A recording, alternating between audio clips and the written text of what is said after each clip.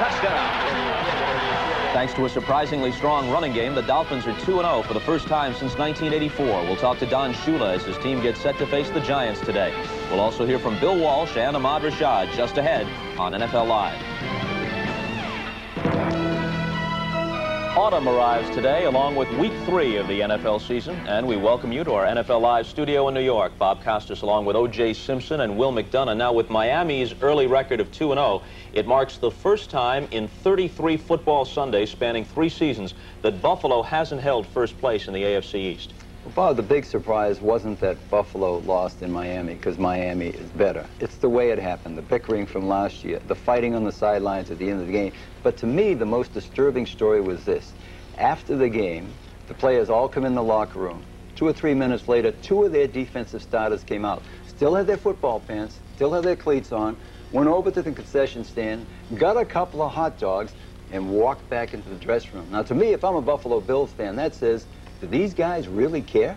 Well, here's the part that gets me about that, O.J. It's one thing if they're at County Stadium in Milwaukee or something and they can't resist the urge to grab a bratwurst. That you could overlook. but they're just at Joe Robbie going after a generic dog. This is an outrageous attitude. Well, what I'm amazed at is that these guys can have an appetite after getting beat that badly. But, you know, one thing for sure, 9 and 7 is not going to win that division this year. And this team is going to have to get hungrier on the football field if they're going to repeat as conference champions. Uh, tomorrow night at the Meadowlands against the Jets, that might have been a gimme game a year ago. Not anymore. The Jets are improved.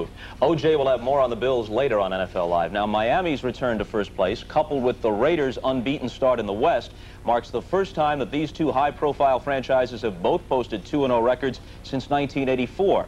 Seeing those familiar teams back on top, at least for the time being, has prompted talk in some quarters of a rejuvenated AFC. And while replicating the past is the apparent strategy for a Raider resurgence, changing styles has brought results in Miami. Sammy Smith is the league's surprise rushing leader on a team known primarily for Dan Marino's passing arm. The successful ground game is thanks in large part to the new offensive line. The group is the biggest in Dolphin history, more than 30 pounds heavier than the group that played in the Super Bowl just six years ago against San Francisco. In last week's romp over Buffalo, 298-pound rookie Richmond Webb clearly outplayed Bruce Smith. They're the biggest people we've had in a long, long time you utilize your talents. Uh, you have a guy like Marino can throw the ball so well. We, have been a passing team, but I think even Dan now has realized that we have to be able to run the ball to be a total team, and I think the last two games have proved that. But I still believe that we can throw the ball with anybody in the league, and if, if we have to throw the win, we can we can do that too. Now, a real test of exactly what the Dolphins are capable of doing comes today at the Meadowlands as they face the Giants. Earlier, I asked Miami's Don Shula about that youthful offensive line. That's really helped us. Uh, two rookies that, that signed their contracts early, Bob, and we had them right from the beginning of training camp. And we played uh, four tough teams that had outstanding defensive linemen on that side of the ball, and Sims and Webb got their indoctrination under fire. Now, Webb is going to face quite a test today with Lawrence Taylor coming from that right side.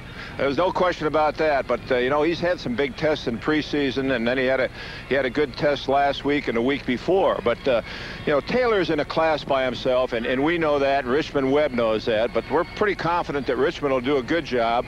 We've got some schemes uh, set up so that we can help Richmond if he needs help. Obviously, any team that faces the Giants must contend with the potential havoc that Lawrence Taylor can create.